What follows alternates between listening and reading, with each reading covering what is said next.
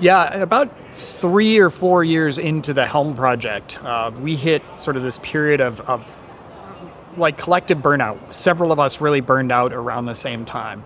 And, and we experienced it because, in part, you know, we had worked on a lot of the of, of, the cool features we wanted to do when we were starting to hit that part of the roadmap that was just the really difficult problems, uh, a lot of maintenance burden. The issue queue was what was starting to feel unmanageable, uh, and in in part it was because we everything was in production right? When you're in that creative space at the beginning, it's very energizing. But at some point, you're in production at other people's companies and you are sort of in a secondhand sort of way, feeling responsible for what happens when things go wrong there. And when you get issues coming into the issue queue in those scenarios, people are often starting from a position of anger or frustration or or, or, or despair, right?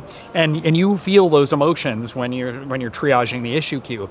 And I think at one point a bunch of us just started to feel the drag effect of that. Uh, and, and it, it, had gotten to the point where for a little while it wasn't so much that we weren't motivated to work on new features it was really like how do we just keep the lights on right now and, and, and feel okay uh, getting over emotions like that can be a can be a hard thing to do.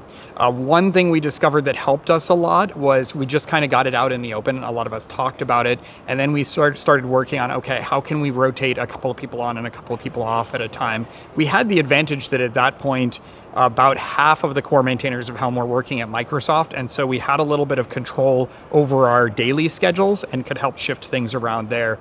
Uh, that definitely helped. The the group support helped a lot, right? Just talking about it out loud, uh, setting up a way for somebody to discuss openly. You know, my mental health level right now is a little low.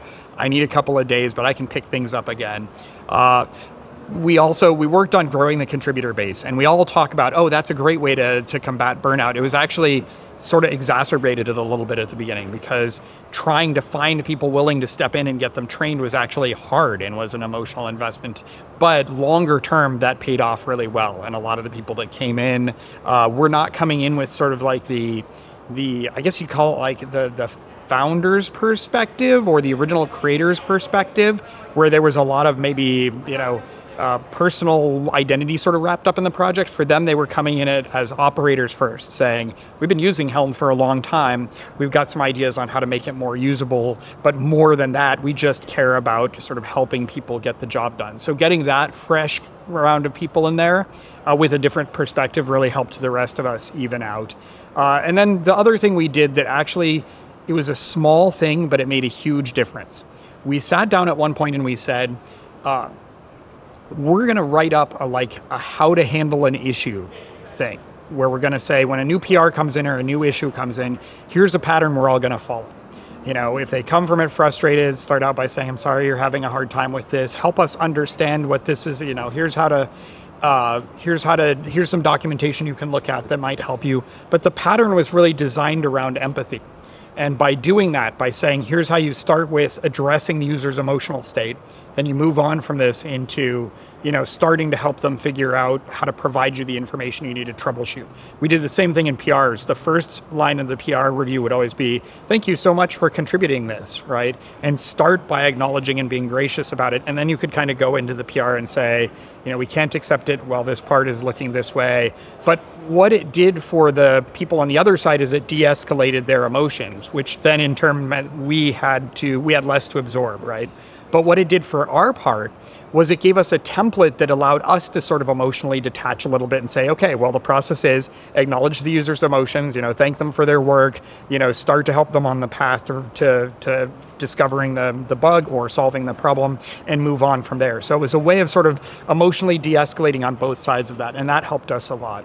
Uh, but you know, ultimately, when it comes to burnout, I think everybody kind of has to acknowledge if you've gotten all the way to the burnout stage, stepping away for a little while is the main thing you often have to do to just decompress. So we learned, you know, to kind of be able to tell a little bit before burnout. And once you've got those sort of good mental health practices where people are talking about how they feel about it, then you can start saying, "Ooh, you're getting a little close to the burnout there." Uh, you know, instead of burning you out and then you having to take a long, uh, long, you know, extended stay of absence from a project, you know, you want a couple weeks to just sort of go on, you know, PR triaging duty or step down or do something else for a little while, and that kind of thing helped quite a bit. Awesome. Thank you.